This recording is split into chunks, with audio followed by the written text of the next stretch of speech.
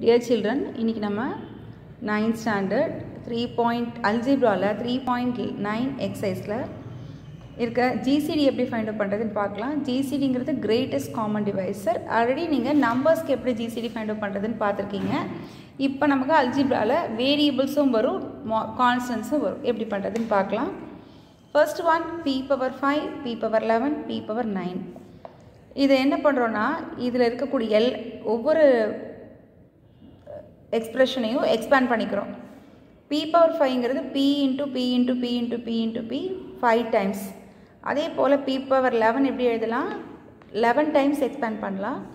B power nine can be written as B into B into B nine times expand பண்ணலாம் இல்லையா?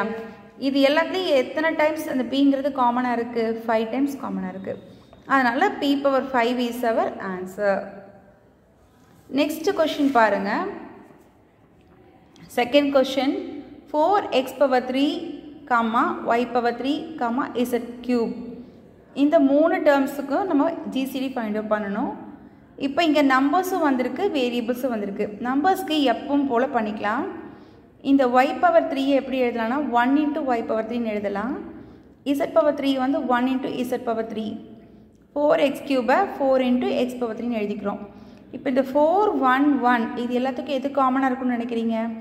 One ஏன்னா four can be written as four into one நம்ம சைடில் போட்டு பார்த்துக்கலாம் தெரிலனா four one one இதுக்கு எந்த நம்பருமே காமன் இல்லை. ஒன்னால் தான் டிவைட் பண்ண முடியும். ஸோ ஃபோர் டைம்ஸ் ஒன் அப்படியே போட்டுக்கிறோம். ஒன் ஸோ ஜிசிடி இஸ் இந்த நம்பர்ஸ்க்கு ஜிசிடி என்னது? இந்த ஒன் தான். காமன் ஃபேக்டர் ஒன் தான் இங்கே. அடுத்தது வேரியபிள்ஸ் பார்க்கும்போது இங்கே எக்ஸ் பவர் த்ரீ இருக்குது செகண்ட் டேர்மில் எக்ஸே இல்லை தேர்ட் டேர்ம்லேயும் எக்ஸ் இல்லை. அதே போல் ஒய் பவர் த்ரீயும் காமனாக இல்லை இசட் பவர் த்ரீ ஒரு இசட் கூட காமனாக இல்லை. ஸோ வேரியபிள்ஸ் எதுவுமே காமனாக இல்லாதனால நமக்கு இங்கே ஜிசிடி வந்து ஒன் தான். நம்பர்ஸ்லேயும் காமன் ஃபேக்டர் ஒன் வேரியபிள்ஸில் எதுவுமே காமன் இல்லை. Therefore GCD greatest common divisor is 1. Is it clear to you? Next third sum பாருங்க. Third sum exercise 3.9ல third sum. 9a square b square c power 3 15a power 3 b square c power 4 ரெண்டு terms கொடுத்துருக்காங்க. இதுக்கு GCD find out பண்ணும் find the GCD மீ காண்க. இப்போ இதில் என்ன பண்ணுறோன்னா இந்த நைனுக்கும் ஃபிஃப்டீனுக்கும் நம்ம ஜிசிடி நம்பர்ஸ்க்கு தனியாக ஃபைண்ட் அவுட் பண்ணிக்கிறோம். த்ரீ ஆல் டிவிசிபிள் ஆகுதா? த்ரீ த்ரீஸா நயன் ஃபிஃப்டீன் எடுத்துட்டோன்னு சொன்னால் ஃபைவ் டைம்ஸ் ஃபைவ் த்ரீஸா ஃபிஃப்டீன் இப்போ நமக்கு காமனாக இருக்கிறது எது? மறுபடியும் இது ரெண்டுக்கும் காமன் எதுவுமே இல்லாதனால இதோடு முடிச்சுக்கிறோம்.